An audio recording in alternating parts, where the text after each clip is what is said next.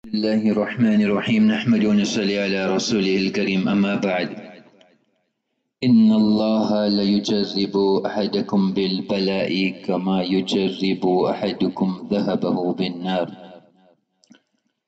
Allah Jalla Jalaluhu Amanualuhu tests you with difficulties, hardships, calamities, like how you test gold by putting it in the fire and separating the gold, purifying the gold, purifying the metal and processing it.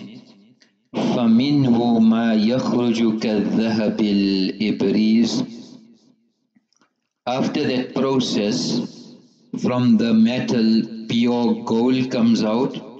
فذلك الذي حماه الله من شبهات that is the one who Allah has protected from doubt, from complaining, from turning to the creation and his heart was connected to Allah subhanahu wa ta'ala.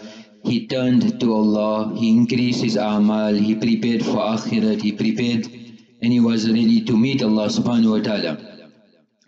وَمِنْهُ مَا يَخْرُجُ دُونَ ذَلِكَ And some processes, the result is some other things come out. Some pure gold, some less, some less, some less. فَذَلِكَ الَّذِي يَشُكُّ بَعْدَ الشَّكِّ And that's the one that had doubt. And the last stage, so we had pure gold, we had some mixed contaminated gold, and the last one was وَمِنْهُ مَا يَخْرُجُ كَالذَّهَبِ الْأَسْوَدِ That comes out black gold, completely dirt, it's no gold at all. فَذَلِكَ الَّذِي أُفْتُتِنَا And that's the one that has been tested and failed the test. So in difficulties and hardships we need to see what is the amr of Allah, be patient, our hope and reward is from Allah subhanahu wa ta'ala. In another riwayat, in taliku ila abdi, Allah subhanahu wa ta'ala tells the malaika, go to my servant, فَصُبُّوا عَلَيْهِ الْبَلَاءِ صَبًّا and pour on him calamities. فَيَحْمَدُ اللَّهِ When this difficulty comes to him, he praises Allah subhanahu wa ta'ala. فَيَرْجِعُونَ The farishtas go back to Allah. فَيَقُولُونَ يَا رَبَّنَا O Allah, سَبَبْنَا عَلَيْهِ الْبَلَاءَ السَّبَّ We've poured calamities, we've showered him with difficulties, how you commanded us. And he prays you, ارجعوا فإني أحب أن أسمع صوته Since he is the one that is praising Allah, remembering Allah, getting close to Allah, return to him. So a believer needs to see at every, every given time, what is the command of Allah?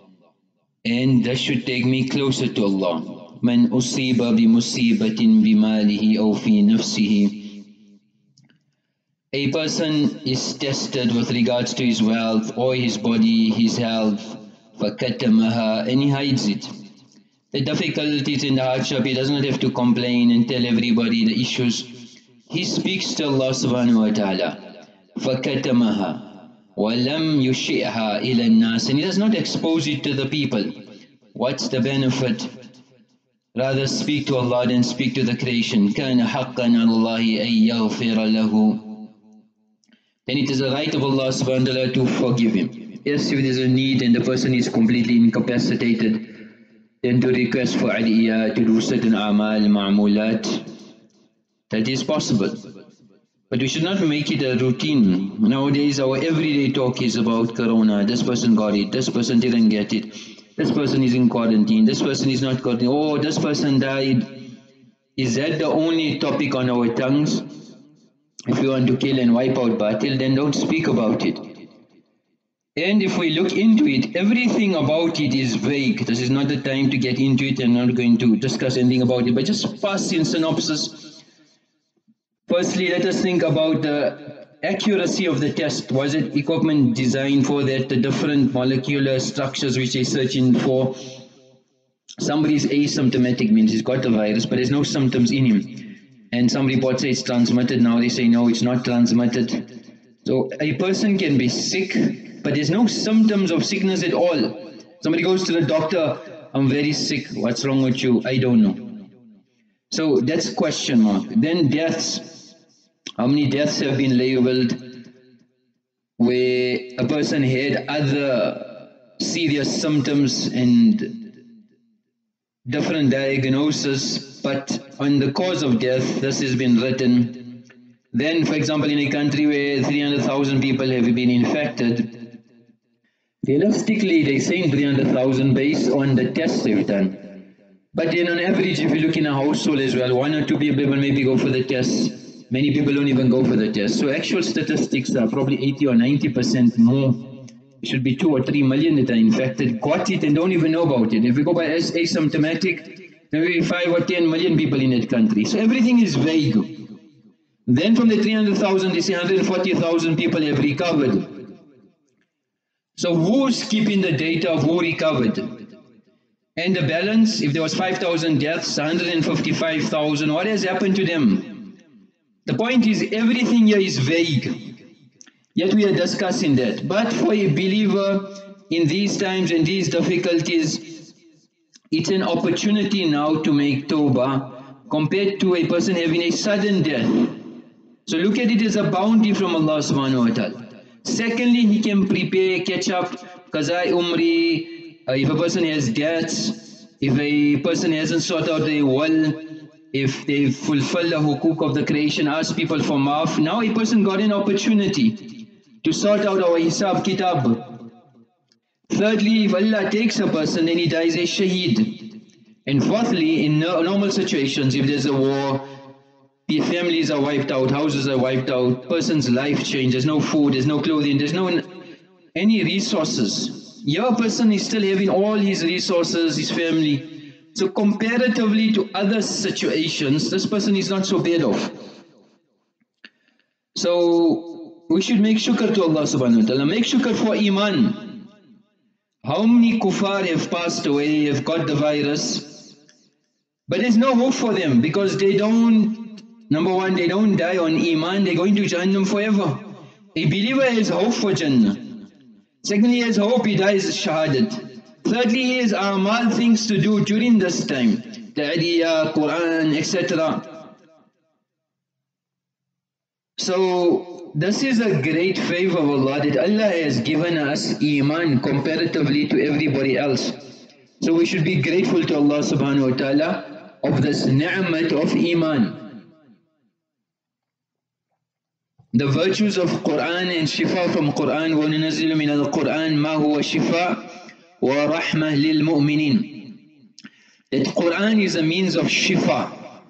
So let us utilize this خَيْرُ الدَّوَاء الْقُرْآنِ The best cure, the best remedy is Quran. ذكرنا الداء للقلوب والأبدان Ulama explain that is a cure for the sickness of the heart, spiritual ailments, wal abdan and physical ailments as well. وَشِفَاءٌ لِمَا فِي الصُّدُورِ It is a shifa. Nabi alayhi salatu wasalam once came to Hazrat Aisha radiyallahu anha وَإِمْرَأَةُ تُعَالِجُوهَا And somebody was treating her. So Nabi alayhi salam said, عَالِجِهَا بِكِتَابِ اللَّهِ Treat her with the kitab of Allah subhanahu wa ta'ala. So we find that there's a lot of power in the Quran. Let us utilize this Quran as a means for shifa and cure. So firstly a person should be reciting a, a, a lot of surah of the Quran. If we start from the beginning, Surah Al-Fatiha, which is Surah Al-Shifa, it's called Surah Al-Shafiyah, Surah Al-Kafiyah, so this is a surah for shifa. We see that uh, Sahaba radiallahu anhum once were traveling, they came to an area and the people never gave them a place to stay. The leader of the tribe got ill and then they came back to Sahaba and they made an agreement. One Sahabi went and it said he read Surah Al-Fatiha seven times. So the people of the tribe were very stressed because they tried all remedies but they could not find a remedy for their leader. And the Sahabi just read Surah Al, Surah Al-Fatiha and he was given Shifa. So that is the power of Quran. Once Jibreel salam was by Nabi salam, they heard a sound and he said, هذا باب من السماء فتح اليوم A door in the heavens has opened today, it has never opened before. فنزل منه ملك an angel descended هذا ملك نزل إلى الأرض لم ينزل قط This angel has never ever descended on earth before. It's the first time he is descending. فَسَلَّمَ He made salam and he said, أَبْشِرْ بِنُورَيْنِ Glad tidings to that two noors that you have been given. No Nabi before you has been given it. It is Fatiha and the end of Surah Baqarah, the ayat. So, very special A'adham Surah fil Quran the greatest surah in the Quran, Surah Al-Fatiha, بأفضل القرآن والذي نفسي بيده ما أنزل في التوراة ولا في الإنجيل ولا في الزبور ولا في الفرقان مثلها In the previous books, nothing has been revealed like it. وإنها سبع من المثاني والقرآن العظيم الذي أعطيته And that is the Surah Fatiha which I have been given. So ulama say, that we should try to read Surah Fatiha um, and there's different ways to do it. We won't get into detail. But uh, Ibn Jawzi says that I قد جربت أنا من ذلك في نفسي وفي غير أمورا عجيبة. I've tried and tested it especially when I was in Makkah Mukarramah and uh, I had a very serious sickness and it became very severe. And I decided I, I didn't use any form of medication or go to doctors. I took water, zamzam, and I started reading Surah Al-Fatiha. And I drank the water, وَامْسَوْ بِهَا لَمَحَلِ الْأَلَمِ And I sprinkled some water on that place and Allah subhanahu wa ta'ala gave me shifa. جربت ذلك مرارا عديدة I tried and tested it many times and it worked. So this was in his experience. فإن قرأت الفاتحة ورقدت بها على نفسك وقرأت على ماء وشربته انتفعت بذلك جدا. Likewise, if a person doesn't have zamzam, they should read Surah Fatiha seven times blow, blow on the water and uh, if they want to add he said ayatul kursi and the then you can do that also. He used to say for the quran wa shifa'u min jamil adwa al-qalbiyya that it is a cure for all sicknesses of the heart and the body and sicknesses of dunya and akhirah. So let us try to make it a habit to read suratul fatiha. Then معوذتين كل أعوذ برب الفلق and كل أعوذ برب الناس. So Aisha radiallahu anha used to say that Nabi alayhi salam when he had in difficulties نفث على نفسه بالمعوذات and read the معوذات ومسح عنه بيده blow on his hands and rub it on his body.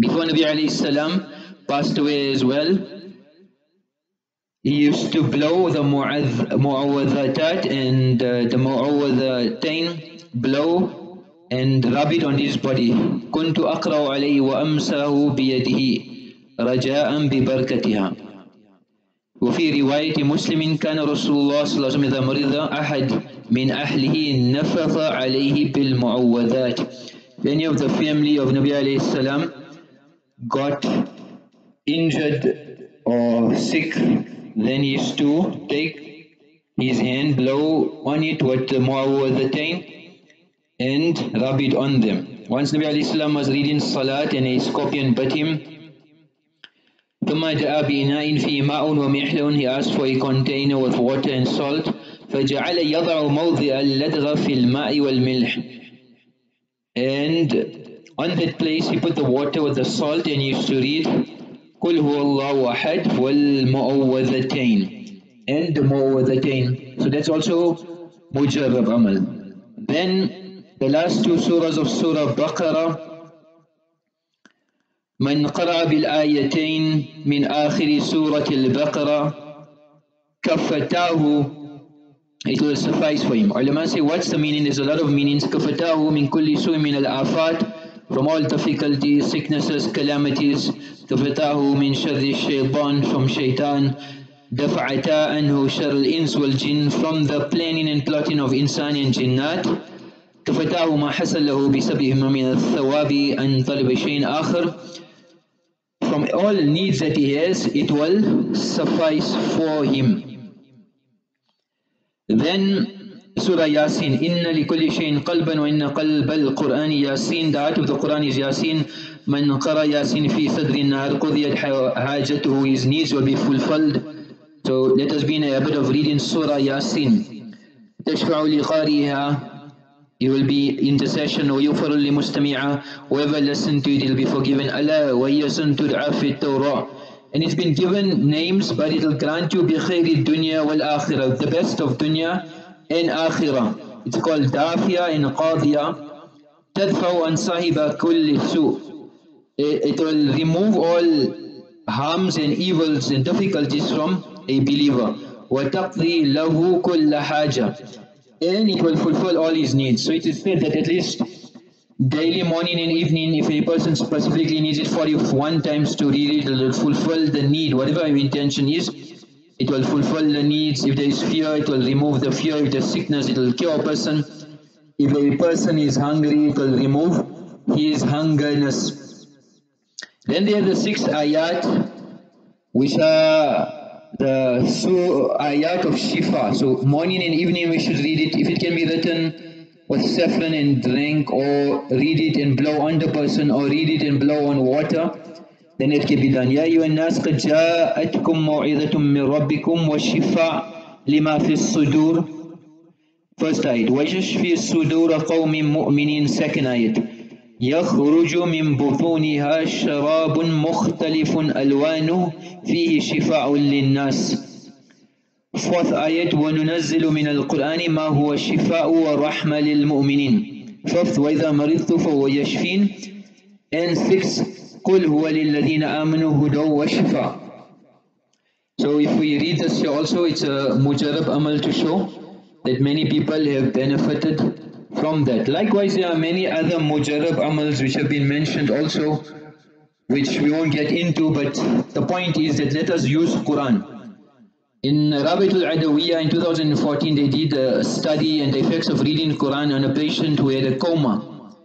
And uh, when they checked the GSC and the diagnosis and they observed the psychological parameters and the blood pressure, heart rate, respiratory rate, etc.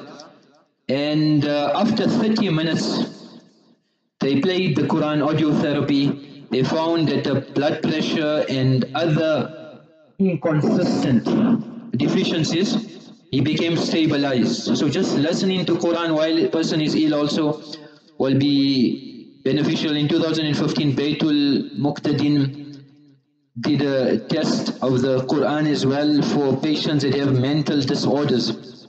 So Surah Fatiha, Yasin, Ayat al-Kursi, Surah Kahf, Surah Baqarah.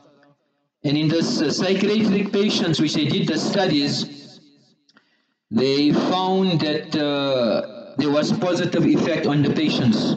Likewise, Al-Manaro Center did some studies for reciting the Quran on patients for them to listen to it.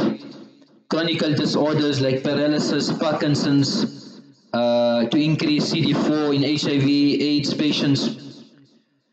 And they found that the study is an alternative treatment for all these sicknesses as well. So Quran is the kalam of Allah.